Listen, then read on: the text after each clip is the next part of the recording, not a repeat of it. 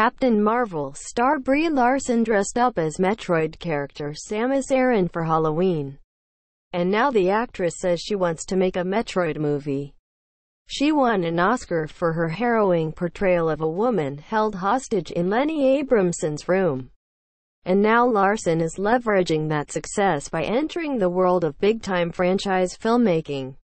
With her role as the titular superhero in Captain Marvel, the excitement level around Captain Marvel was already high, largely thanks to Larson's fan-approved casting as Carol Danvers. But things reached a fever pitch after the recent trailer release, which gave fans their first good look at what Larson will be up to in the MCU. Of course, her role in Captain Marvel will only be the beginning, as Larson's Danvers will no doubt play a pivotal part in Avengers 4. The long-term future of Captain Marvel also looks bright. Even if Larson did not actually sign a seven-picture deal with Marvel Studios as was rumored. Related, announced video game movies we're still waiting on if Larson has anything to say about it. Captain Marvel won't be the only iconic female character she tackles. For Halloween, Larson dressed up as Metroid heroine Samus Aran and posted a picture to Instagram, immediately stoking fan excitement for a possible Metroid movie with Larson in the lead role. It seems fans aren't the only ones who hope to see Larson take on the role of Samus Aran as the actress herself posted on Twitter that she wants to do more than just dress up as the character to go trick-or-treating. See Larson's Instagram post and relevant tweet below. Zero Suit Samus had an evening with Harry Potter and it was cute.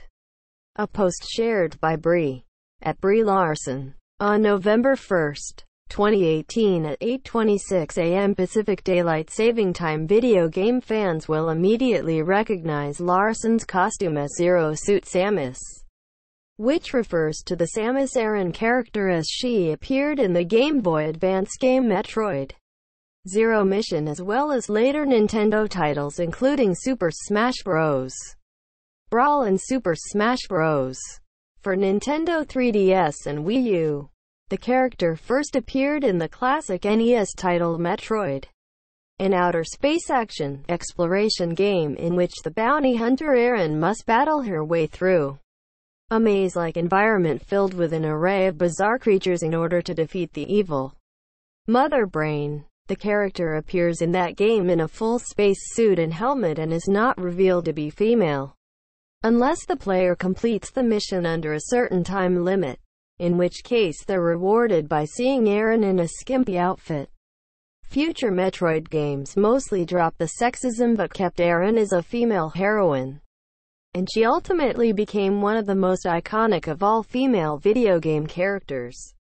After already agreeing to tackle one of the biggest female superheroes in Captain Marvel, it's no surprise to see Larson lining up to return to space as another popular female character. Of course, fans have been clamoring for a Metroid movie almost as long as the games have existed. But getting such a film off the ground has proven to be an impossible task thus far. Most recently, director Jordan Vogt-Roberts put forth his own idea for a Metroid movie, which would involve Samus Aran going on a literal solo mission. With no other human characters in the film Mr. Vogt-Roberts is currently moving forward with Metal Gear Solid, another video game whose film adaptation has been a long time coming. So could he follow that up by fulfilling fan dreams of a Metroid movie as well? It appears he already has a willing lead actress in Larson. Should that project come to pass? Source. Brie Larson, Instagram. Brie Larson, Twitter tags. Metroid.